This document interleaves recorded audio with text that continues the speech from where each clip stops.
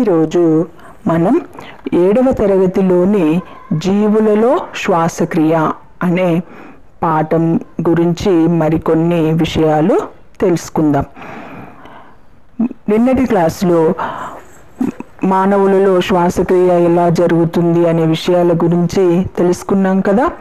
మరి మనలాగే ఇతర జంతువులు మొక్కలు కూడా శ్వాసక్రియ జరుపుకుంటాయా? అవును. వాటిలో కూడా శ్వాసక్రియ జరుగుతుంది. మరి అన్ని జీవులలో ఒకే రకమైన శ్వాసవయవాలు ఉండవు. జీవి యొక్క శరీర నిర్మాణం దాని స్థాయి మీద ఆధారపడి ఉంటుంది. కొన్ని జ జంతువులలో శ్వాసక్రియ ఏ విధంగా జరుగుతుందో కొన్ని ఉదాహరణల ద్వారా తెలుసుకుందాం. చేప. చేప నీటిలో నివసిస్తుంది. మనందరికీ తెలుసు కదా? చేప నీటిలో ఉన్నప్పుడు ఎప్పుడూ నోటిని తెరుస్తూ మూస్తూ ఉంటుంది.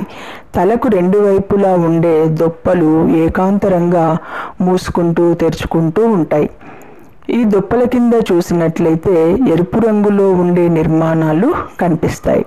వీటిని మొప్పలు గిల్స్ అంటారు. ఇవి చేపల యొక్క శ్వాసవయవాలు చేప నీటిని నోటి ద్వారా గ్రహించి ఆ నీరు మొప్పల గుండా ప్రవహించి దొప్పల ద్వారా వెలుపలికి వస్తుంది. మొప్పలు నీటిలో కరిగిన ఆక్సిజన్ను గ్రహించి రక్తం ద్వారా శరీరంలోని ఇతర భాగాలన్నింటికి ఆక్సిజన్ను సరఫరా చేయడం జరుగుతుంది. ఈ విధంగా చేపలలో మొప్పల ద్వారా శ్వాసక్రియ జరుగుతుంది. తర్వాత కప్ప.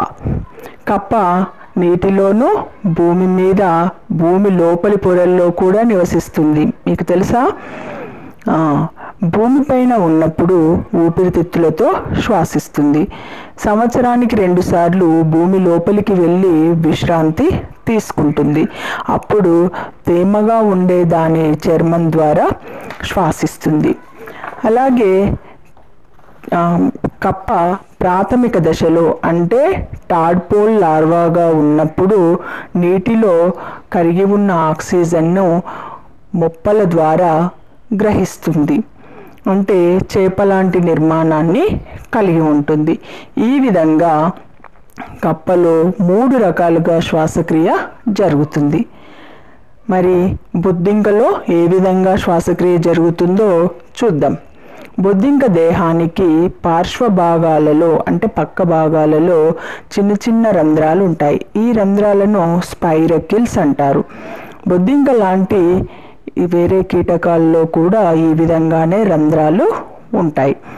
బొద్దింక దేహం ఖండితాలుగా విభజన చెంది ఉంటుంది.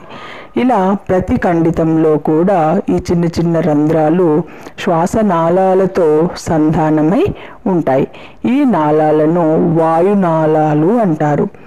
బొద్దింకలో అంటే కీటకాలన్నింటిలో కూడా ఈ వాయునాళాల ద్వారా శ్వాసక్రియ జరుగుతుంది.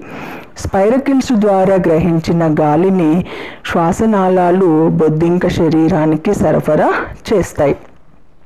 అలాగే శరీరం నుండి గ్రహించిన గాలిని సేకరించి స్పైరకిల్స్ ద్వారా వెలుపలికి పంపిస్తాయి. మరి బొద్దింకలో ఎలా జరుగుతుంది? వాయునాళాల ద్వారా శ్వాసక్రియ జరుగుతుంది. వానపాములో ఏ విధంగా జరుగుతుందో తెలుసుకుందాం. వానపాము చాలా మృదువుగా తేమగా ఉంటుంది కదా? వర్షం పడినప్పుడు బయట కనిపిస్తూ ఉంటాయి మట్టిలో. దాని చర్మం పలుచగా తేమగా ఉంటుంది. కాబట్టి వానపాములో చర్మం ద్వారా శ్వాసక్రియ జరుగుతుంది. చర్మం ద్వారా గాలి లోపలికి వెలుపలికి ప్రయాణిస్తూ ఉంటుంది. వానపాములో శరీర ఉపరితలం అంతా శ్వాసించడానికి ఉపయోగపడుతుంది కదా? మరి ఇలాగే చర్మంతో శ్వాసించే మరికొన్ని జీవుల పేర్లు చెప్పగలుగుతారా? మరి జంతువుల లాగానే మొక్కల్లో కూడా శ్వాసక్రియ జరుగుతుంది అని భావిస్తున్నారా? అవును.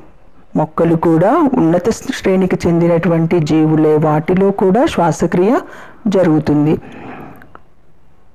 మనం ముక్కు ద్వారా ఏ విధంగా అయితే గాలిని పీల్చుకుంటామో మొక్కల్లో పత్రాల యొక్క ఉపరితలంలో ఉండే పత్రరంధ్రాలు కాండం పైన ఉండే లెంటిసెల్స్ అనే నిర్మాణాల ద్వారా అవి ఆక్స్ గాలిని గ్రహించడం విడిచిపెట్టడం జరుగుతుంది. మొక్కలు కూడా జంతువులలాగే శ్వాసక్రియలో ఆక్సిజన్ని గ్రహిస్తాయి మరియు నిశ్వాసంలో కార్బన్ డైఆక్సైడ్ను వాతావరణంలోకి విడుదల చేస్తాయి. ఈ క్రియలో కొద్ది మోతాదులో వేడిమి కూడా విడుదలవుతుంది. పిల్లలు ఈరోజు ఈ కింది ప్రశ్నలను గమనించి వీటికి సమాధానాలు గుర్తించి మీ నోటు పుస్తకంలో నమోదు చేయండి.